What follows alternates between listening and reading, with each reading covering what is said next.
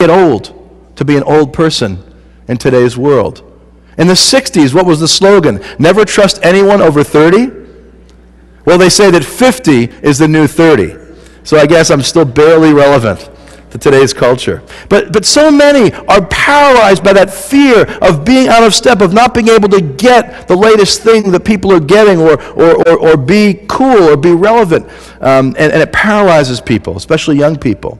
The church here in Acts presents a healthy picture of that great triangular relationship between God, culture, and us as humans.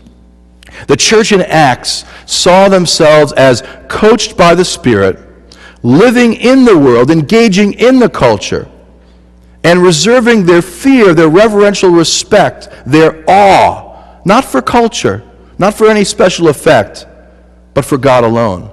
They did not fear the culture. They did not fear Romanism or paganism. They did not fear life as it seemed to be. Rather, the Christian community lived in a state of healthy reverence for the Lord, a reverential respect of the way things actually were. That they were living a life under the lordship of Jesus Christ, a life in the Spirit, in the very presence of the same Spirit of God who raised Jesus from the dead. Who is your coach?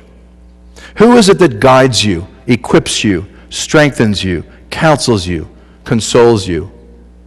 If you know Jesus, then what he promised for all of us is true for you that standing right beside you, indeed dwelling within you, is the Paraclete, God's, God Almighty Himself, His Holy Spirit, within you, within me, among us as a congregation.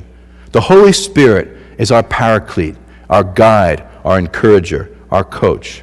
And so let's all be strengthened and emboldened by God's Spirit who's here in our midst Let's be strengthened and emboldened as we realize, trusting in Christ Jesus alone, that living inside each and every one of us who trust Jesus is God the Holy Spirit.